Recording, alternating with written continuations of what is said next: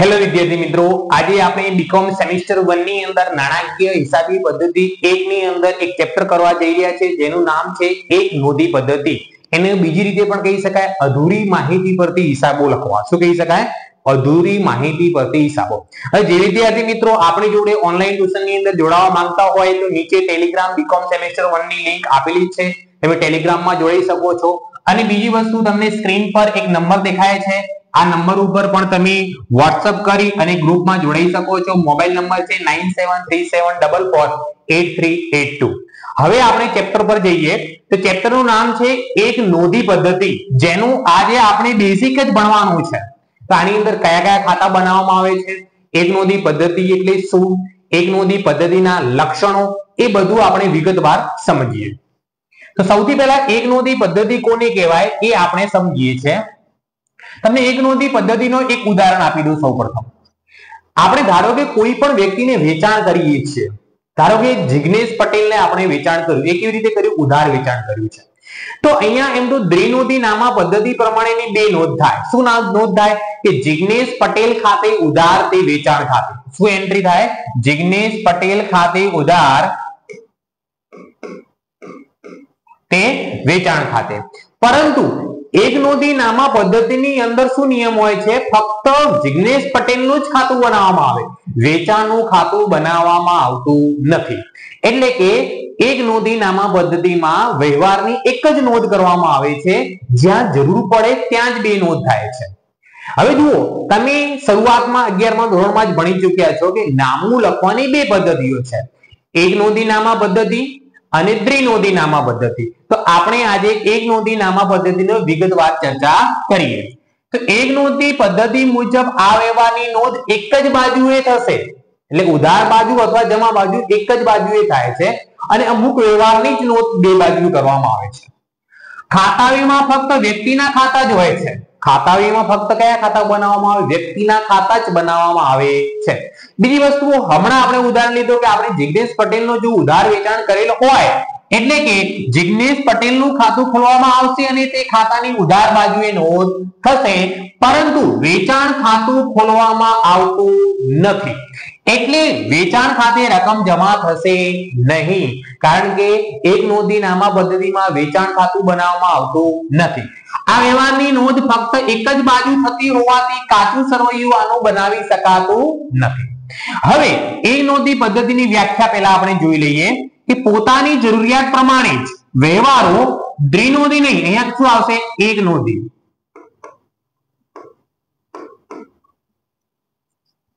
પોતાની જરૂરિયાત પ્રમાણે જ વ્યવહારો એક નોંધી પ્રમાણે ચોપડી નોંધવાની રીત. જેમાં મુખ્ય, મુખ્યત્વે રોકડ વ્યવહારો અને વ્યક્તિને લગતા વ્યવહારો જ નોંધવામાં આવે છે. કયા કયા વ્યવહારો? રોકડને લગતા વ્યવહારો અને વ્યક્તિને લગતા જ વ્યવહારો નોંધવામાં આવે છે. આવી અધૂરી હિસાબી પદ્ધતિને એક નોંધી પદ્ધતિ કહે છે.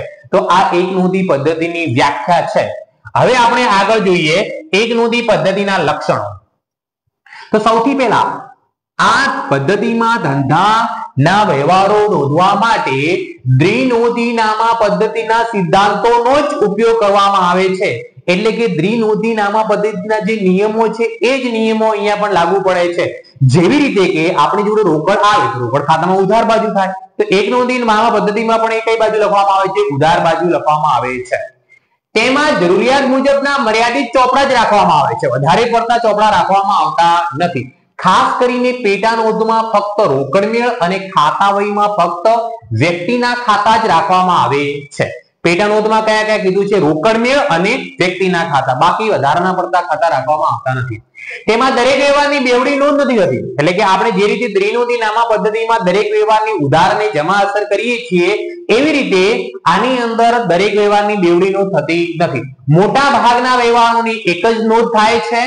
છતાં કેટલાક વ્યવહારોની બેવડી નોંધ પણ થાય છે, તે કેટલાક બિલકુલ નોંધ થતા પણ નથી. આ પદ્ધતિ પ્રમાણે હિસાબો ફક્ત હજુ આ પદ્ધતિનો ઉપયોગ કોણ કરી શકે?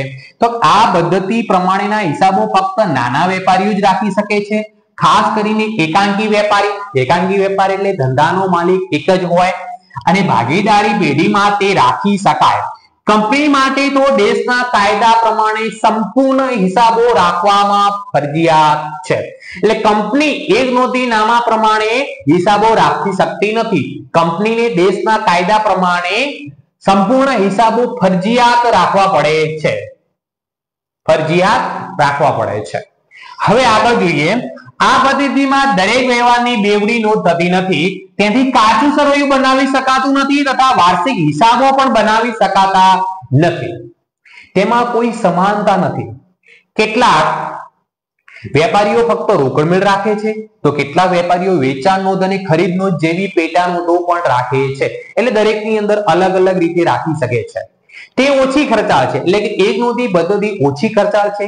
તેમાં બધા વ્યવહારોની નોંધ રાખવામાં આવતી નથી. તેથી તેમાં શ્રમ અને સમયનો ખૂબ જ બચાવ થાય છે. મૂળ દસ્તાવેજો સાચવી રાખવા એ આ પદ્ધતિનું મુખ્ય લક્ષણ છે. કારણ કે બધા વ્યવહારો સંપૂર્ણ નોંધ આ પદ્ધતિમાં થતી નથી. દાખલા તરીકે વેચાણ અને ખરીદીના બિલો, અન્ય વાઉચરો વગેરે નફો નુકસાન શોધવા સ્થિતિ દસ્તક પત્ર બનાવવો તે ઉપયોગી છે. હવે જુઓ આની અંદર સૌથી પહેલા તમને સ્થિતિ દર્શક પત્રક બનાવતા આવડવું જોઈએ. અને આપણે સ્થિતિ દર્શક પત્રક કેવી રીતે બનાવવું છે એ આપણે જોઈ લઈએ હવે. તો હવે જુઓ અહીંયા. અહીંયા હવે જો એક નોંધી નામા પદ્ધતિની અંદર સંપૂર્ણ વ્યવહારોની નોંધ કરવામાં આવતી નથી. તો નફો કેવી રીતે શોધવો? તો નફો શોધવાની અહીંયા બે રીતો છે. સૌથી પહેલા મૂડીની સરખામણીની પદ્ધતિ. એટલે શરૂઆતની મૂડી અને આખરની મૂડીની અંદર સરખામણી કરવામાં આવે. જે શરૂઆતની મૂડી કરતા આખરની મૂડી વધી હોય તો નફો કહેવાય. શરૂઆતની મૂડી કરતા આખરની મૂડી ઘટી હોય તો નુકસાન કહેવાય. પણ આ પદ્ધતિથી નફો શોધવાનો આપણા સિલેબસમાં નથી. બીજું છે, એક નોંધીનું દ્વિનોંધીમાં રૂપાંતર કરવાની પદ્ધતિ. તો એક નોંધીના હિસાબોને કોની અંદર કન્વર્ટ કરવાની વાત થઈ છે? દ્વિનોંધી નામા પદ્ધતિની અંદર. તો એ આપણે શીખવાનું છે. તો જ્યારે એક નોંધી નામા પદ્ધતિનું દ્વિનોંધીમાં નામા પદ્ધતિમાં રૂપાંતરિત કરીને જ્યારે નફો શોધવાનો હોય, એવા સંજોગોમાં એટલે કે આપણે આ ચેપ્ટરમાં કયા કયા ખાતા શીખવા પડશે એ હું તમને કહી દઉં. સૌ પ્રથમ છે તમારું સ્થિતિ દર્શક પત્રક સ્થિતિ દર્શક પત્રક બીજું અમુક દાખલામાં રોકડ ખાતું તમને આપેલું હશે. અમુક દાખલામાં રોકડ ખાતું આપણે બનાવવું પડશે. તો એક રોકડ અથવા બેંકનું ખાતું હોઈ શકે છે. રોકડ અથવા તો કયું ખાતું? બેંક ખાતું. ત્રીજું, દેવાદારોનું ખાતું. ઓકે, દેવાદારોનું ખાતું અહીંયા મેં લખ્યું. તો આપણને ખબર તો હોવી જોઈએ ને, દેવાદારો કોને કહેવાય? તો હું તમને સમજાવી દઉં કે દેવાદારો કોને કહેવાય. કોઈ પણ ધંધાનો માલિક પોતાના ગ્રાહકને જ્યારે ઉધાર માલનું વેચાણ કરે છે, ત્યારે એ ગ્રાહક જોડેથી પૈસા લેવાના બાકી હોય છે. કેમ કે એને ઉધાર માલનું વેચાણ કર્યું છે. તો એવા ગ્રાહકોને ધંધાની ભાષામાં દેવાદાર તરીકે ઓળખવામાં આવે છે. દેવાદારને ચાલુ મિલકત ગણવામાં આવે છે. ઓકે? ઓકે, દેવાદારનું ખાતું એના પછી એક બનશે લેણી હુંડીનું ખાતું. લેણી હુંડી કોને કહેવાય? એ પણ તમે અગિયારમાં ધોરણમાં ભણી ચૂક્યા હશો. લેણી હુંડી ની અંદર શું હોય છે કે હુંડી, તમે હુંડી ચેપ્ટર ભણ્યા હશો. હુંડી ની અંદર મુખ્યત્વે બે પક્ષકાર હોય છે. હુંડી લખનાર અને હુંડી સ્વીકારનાર. જે હુંડી લખનાર હોય છે, નિર્ધારિત સમયે અમુક નિશ્ચિત રકમ હુંડી સ્વીકારનાર જોડેથી મેળવવાનો અધિકાર ધારણ કરે છે. એને લેણી હુંડી કહેવાય છે. હુંડી લખનાર માટે લેણી હુંડી કહેવાય છે અને હુંડી સ્વીકારનાર માટે દેવી હુંડી કહેવાય છે. હંમેશા લેણી હુંડી એ દેવાદારોમાંથી ઉત્પન્ન થતી હોય છે. લેણી હુંડી એ ક્યાંથી ઉત્પન્ન થતી હોય છે? દેવાદારો જોડેથી દેવાદારો જોડે આપણે પૈસા લેવાના બાકી હોય અને સામેવાળો પક્ષ, એટલે કે દેવાદાર, એટલે કે કોઈ પણ ગ્રાહક, આપણે એના પર હુંડી લખીએ અને સ્વીકારે, તો આપણા માટે કઈ હુંડી બની જાય? લેણી હુંડી. એટલે લેણી હુંડી ક્યાંથી ઉત્પન્ન થાય છે? દેવાદારો પાંચમું ખાતું બનશે આપણું દેવાદારોનો વિરોધી શબ્દ છે લેણદારોનું ખાતું. તો લેણદારો કોને કહેવામાં આવે? તો લેણદારો આપણે એની વ્યાખ્યા સમજીએ. લેણદારો કોને કહેવામાં આવે? કે ધંધાની અંદર જે રીતે આપણે ઉધાર માલનું વેચાણ ગ્રાહકોને કરતા હોઈએ છીએ તે રીતે આપણે ક્યાંકથી ઉધાર માલની ખરીદી પણ કરતા હોઈએ છીએ. તો ઉધાર માલની ખરીદી કરીએ એટલે વેપારીઓ કહેવાય. તો આપણે જે વેપારી જોડેથી ઉધાર માલની ખરીદી કરી હોય, એ વેપારી ધંધા માટે લેણદાર બને છે. ભવિષ્યમાં એને પૈસા આપણે ચૂકવવા પડે છે. લેણદાર કંપનીનું દેવું છે, એ પણ કયું દેવું? ચાલુ દેવું. એટલે કે એનું ચાલુ જવાબદારી તરીકે ઓળખવામાં આવે છે. ઓકે, લેણદારનું ખાતું આવ્યું એના પછી આવશે દેવી ઊંડીનું ખાતું. કેમ કે લેણદારોની અંદરથી દેવી હુંડીનું ખાતાનો ઉત્પન્ન થાય છે. દેવી હુંડી ક્યાંથી ઉત્પન્ન થશે? લેણદારોની અંદરથી ઉત્પન્ન થશે. તો અહીંયા જુઓ, સ્થિતિ દર્શક પત્રક, રોકડ અથવા બેંક ખાતું, દેવાદારોનું ખાતું, લેણી હુંડીનું ખાતું, લેણદારોનું ખાતું અને દેવી હુંડીનું ખાતું. આટલા ખાતા બનાવવામાં આવે છે. ઉપરાંત, વેપાર ખાતું, નફા નુકસાન ખાતું અને પાકું સરવૈયું પણ તમારે બનાવવું પડે છે. આટલા ખાતા બનાવીને તમે દાખલાની ગણતરી કરો એટલે તમને પરીક્ષાની અંદર ચૌદ ગુણ મેળવી શકો છો. હવે આપણે વિગતવાર ખાતાની અંદર કેવી રીતે ગણતરી કરવી એ આપણે સમજીએ. તો સૌથી પહેલો છે આપણો સ્થિતિ દર્શક પત્રક કયું છે? સ્થિતિ દર્શક પત્રક જે તમને બોર્ડ પર દેખાય છે. સ્થિતિ દર્શક પત્રક બનાવવાનો હેતુ સૌથી પહેલા શરૂઆતની મૂડી શોધવાનો છે. દાખલાની અંદર જો શરૂઆતની મૂડી ના આપેલી હોય, તો આપણે શરૂઆતનું એટલે કે જે તારીખ હોય, એક ચાર બે હજાર સત્તર ના રોજનું સ્થિતિ દર્શક પત્રક. સ્થિતિ દર્શક પત્રક એક પ્રકારનું પાકું સરવૈયું છે. તો આપણે સ્થિતિ દર્શક પત્રકની વાત કરીએ તો આ બાજુ મૂડી દેવા. તો જે મૂડી દેવા બાજુ હોય એ કઈ બાજુ ગણાય છે? જમા બાજુ અને આ બાજુ મિલકત લેણા. મિલકત લેણા બાજુ એટલે કઈ બાજુ કહેવાય છે? ઉદાર બાજુ. તો હવે ધંધાની અંદર જે પણ મિલકતો તમને શરૂઆતની આપેલી હોય એ મિલકત લેણા બાજુ લખી દેવાની. કઈ મિલકતો હોઈ શકે? ફર્નિચર, યંત્રો, મકાન, દેવાદારો, લેણી ઊંડી, રોકડ સિલક, બેંક સિલક, અગાઉથી ચૂકવેલ ખર્ચા, મળવાની બાકી આવકો, એ બધું તમારે અહીંયા મિલકતો લેણા બાજુ લખવાનું હોય. અને આની અંદરથી જમા બાજુ, શરૂઆતની મૂડી લખાય. પણ શરૂઆતની મૂડી તો આપણે શોધવાની છે. તો એના સિવાયના જે પણ આપણા દેવા હોય, લેણદારો છે, દેવી હુંડી છે, ચૂકવવાના બાકી ખર્ચા છે, અગાઉથી મળેલી આવકો છે, કોઈ પણ જોડેથી આપણે લોન લીધી હોય, એ બધા દેવા અહીંયા લખી દેવાના.